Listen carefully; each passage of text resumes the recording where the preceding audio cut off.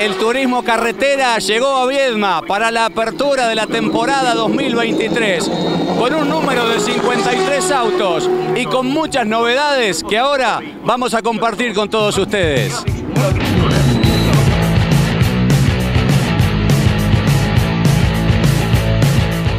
Sin duda que una de las principales noticias es la ausencia de Agustín Canapino este año en el TC.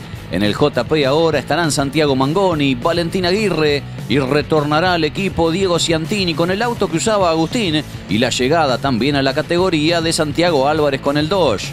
El Mackin Parts tiene al campeón Manu Ursera. Sigue Esteban Gini con un celeste más claro. Se suma Carlos Okulovich con una decoración distintiva. Y la novedad es que Germán Todino ahora correrá con Dodge.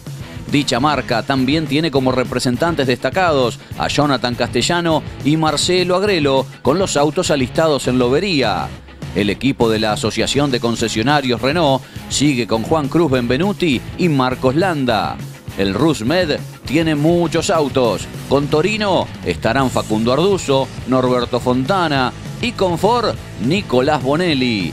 El catalán Magni Motorsport sigue con Juan Tomás y ha llegado Juan Bautista de Benedictis. En el DTA continuará Josito Di Palma. Al LSA, la escudería de Laureano Campanera, llegó Julián Santero, que estará con el Ford que usaba Lambiris, y sigue Juan José Barlín con el Chevrolet. Lambiris, el uruguayo, ahora está en el equipo de Walter Alifraco.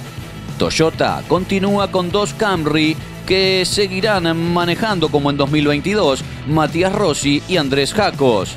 En las Toscas sigue Cristian Ledesma, que cambió de auto y usará un Chevrolet que era de Ursera y se incorporó a Ayrton Londero, quien manejará el Torino que dejó Leo Pernía.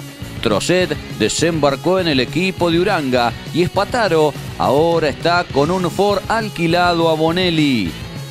Justamente Pernía cambió a Ford este año y llegó al equipo del gurí Omar Martínez, quien regresa a la categoría Escaito Risati luego de nueve años para manejar un Chevrolet que usó Arduzo en 2022, el equipo de Diego de Carlos quien lo alista. Otro que vuelve es Leonel Sotro después de seis temporadas con un Ford de Alifraco que es un auto cero kilómetro.